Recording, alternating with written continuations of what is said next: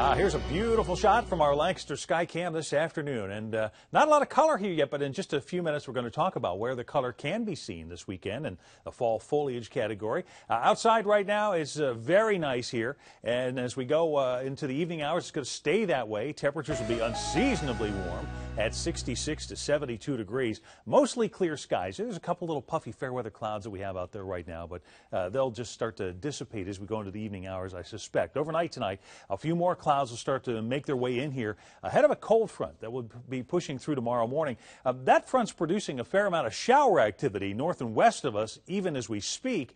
But as it comes through here tomorrow, a lot of that will just be drying up, waning really, as it comes on by. So tomorrow, mostly cloudy, particularly in the morning. In the afternoon, skies may actually be brightening up. We'll show you that in the predictor in a second. And with these clouds in the morning and into early afternoon, there might be a couple of spotty showers. Breezy, and it'll be cooler tomorrow, 66 to 72. Uh, right now, we're looking at numbers in the 70s, just kind of popping around here. Everybody's coming in close to 77 degrees right now, so it's very mild, unseasonably so out there. Here's a visible satellite view. You can see those little fair weather cumulus clouds kind of pop up in the daytime warmth today. And notice how in the last couple of frames they're starting to just disappear. Uh, that's going to be the trend for the rest of the evening. These clouds will be very slow to advance. There's going to be an area of low pressure along this cold front moving by tonight, and that's going to slow the progress of that down.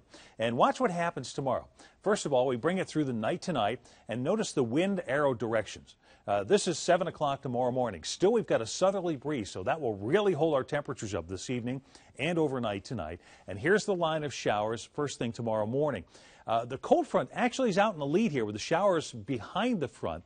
And because of that, a lot of those will likely start to dry up as they come on by. This is around 11:30, so just before lunchtime tomorrow in the uh, midday hours. And then in the afternoon, that starts to push east, so skies likely will start to brighten up a little bit tomorrow afternoon.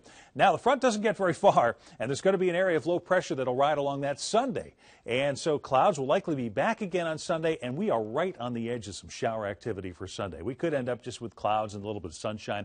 As you head south into Maryland toward Philadelphia, that's a much more likely location for seeing some shower activity as you go through the day on Sunday.